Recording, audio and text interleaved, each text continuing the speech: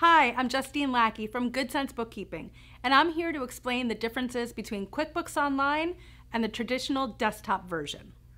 Which QuickBooks product is right for you? QuickBooks Online or QuickBooks Desktop?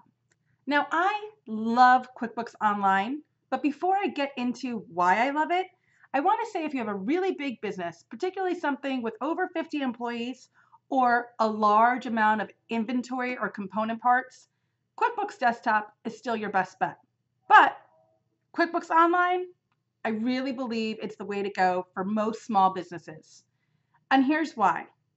QuickBooks Online is a robust cloud based solution. So that means you can access your data anywhere there's a web browser. They also have a really awesome app. So anywhere you are in the world, you can now access your accounting data.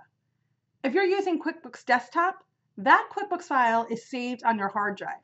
So if you're not where that computer is, you have no access to your data. The second reason why I love QuickBooks Online is you can share it really easily with your accountant, your bookkeeper, and your employees. There's also really cool permission settings in it, so you can restrict access. So let's say you only want employees to be able to generate sales receipts or invoices and receive payments, but you don't want to share all of your financial data with them, you can set that up using user permissions. The third reason I love QuickBooks Online is it offers an automatic and seamless bank feed. QuickBooks Online connects to thousands of banks at this point using bank grade security, and it automatically sweeps all of your transactions into QuickBooks Online. And it's really, really easy to classify that data and get it into your bookkeeping system. It's a really easy process. I also have another video teaching you how to connect your bank to QuickBooks Online, so you can check that out on the channel. The last reason I love QuickBooks Online is it has all those wonderful features and more that QuickBooks Desktop has. So, creating invoices and sales receipts, collecting credit card payments from your customers really easily, the amazing reports that we, we love and use, like the profit and loss and the balance sheet.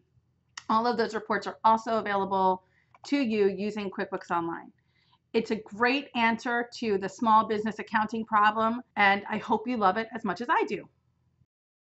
This is Justine Lackey from Good Cents Bookkeeping, and I hope you enjoyed this tip. For more savvy ways to use QuickBooks Online and bite sized morsels to help you more effectively manage your business, subscribe to our channel and share this with your friends. For more incredible resources, head on over to goodcentsbookkeeping.com.